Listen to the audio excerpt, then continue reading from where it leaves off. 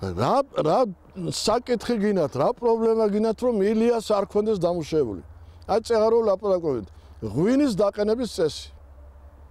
6 სტატია. ადარებს ევროპულად და ქართულად ღვინის დაყენების წესი. ანალიზები აქვს რაღაც ქიმიკოსები საიდან გამოძებნა რომ კაცს რა ინტერესებს ეთყობა და დასკვნა ქართულად ღვინის დაყენების წესი გაცილებით სასარგებლო ადამიანის ორგანიზმისთვის, იმიტომ რომ შიგ ქიმია ნაკლებადაა ჩარეული. ხელოვნური ნაკლებია მასში. ეხლა გენო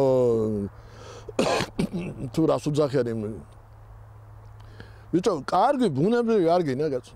რა ჯანდაბად გინა სინგაპური, როცა ახლა საქართველოს ყავს კაცო. ამდენი ათასწლეულის ისტორიით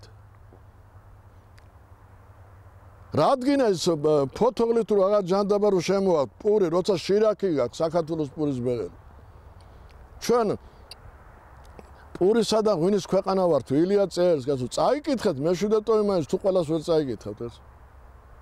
აგრარულ პოლიტიკაზე რამდენია გას აი პირდაპირ ცოტა ემოციები ძლევს მიყვის რომ ასეთი კაცი ყავს და ბოდიში და ზედაც არ უყურებ. ну, საოცრება, მაგრამ ფაქტია, საერთოდ უხო.